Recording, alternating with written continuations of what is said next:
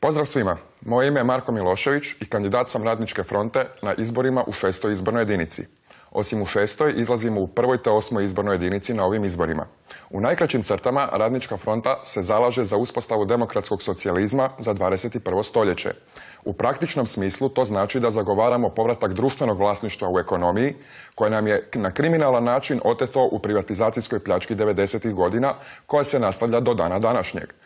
Zalažemo se za društveno vlasništvo zato što smo uvjereni da je to jedini način da se garantira pravedna raspodjela prihoda, da je to jedini način da se spriječi korupcija u politici i da je to u konačnici jedini način koji garantira razvoj društva sukladan vremenu u kojem živimo.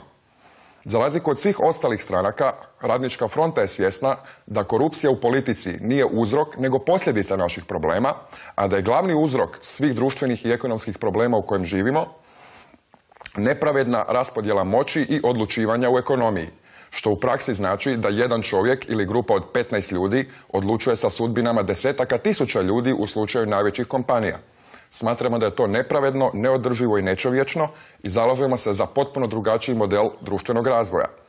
Za razliku od svih drugih stranaka, Radnička fronta je svjesna da mantre i šuplje, šuplja obećanja o stranim investicijama ne predstavljaju ništa nego korisne predizborne parole, jer su se sve takozvane strane investicije u Hrvatskoj pokazale kao vrlo sebične i nekorisne za, za šire društvo, zato što strana investicija u našu zemlju kao i u svaku drugu dolazi sa dva cilja.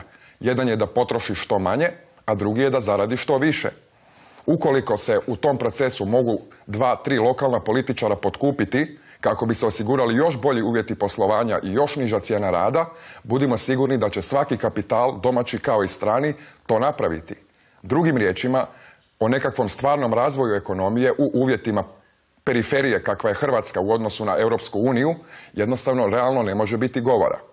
Mi ne obećavamo nikakav čarobni razvoj preko noći, ne obećavamo nikakve utopijske i neodržive brojke od tisuća novo otvorenih radnih mjesta, ali ono što možemo obećati je početak borbe za povratak otetoga kao prvi korak u izgradnji nečega novog i boljeg.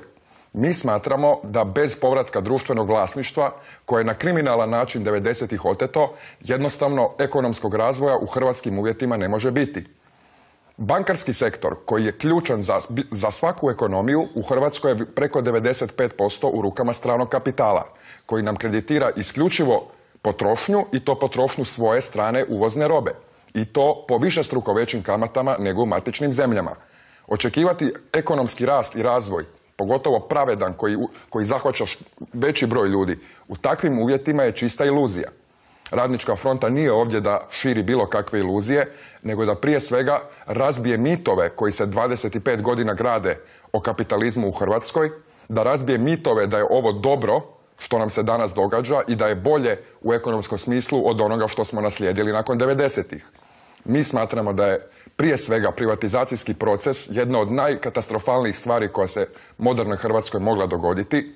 Na primjerima INE, Plive, brodogradilišta, željezara i tako dalje, jasno se vidi da kad privatni interes zavlada nečim što je nekada bilo društveni interes i društveno vlasništvo, da je rezultat isključivo bogaćenje i gomilanje novca i političke moći u malom broju ruku, a bijeda, siromaštvo i gubitak političke moći za veliku većinu radnog naroda.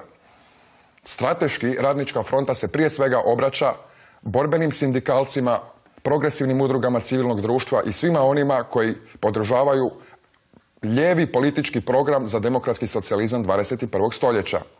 Na tom putu pozivamo sve obespravljene, sve gnjevne i nezadovoljne ljude koji su izgubili vjeru u mogućnost bilo kakvog ovaj, poboljšanja situacije putem izbora, da nam se pridruže, da nam, da nam se jave na putem naše e, web stranice radničkafronta.hr ili putem Facebook profila i u konačnici da nas podrže na ovim izborima kao prvu lijevu političku opciju danas. Hvala vam puno.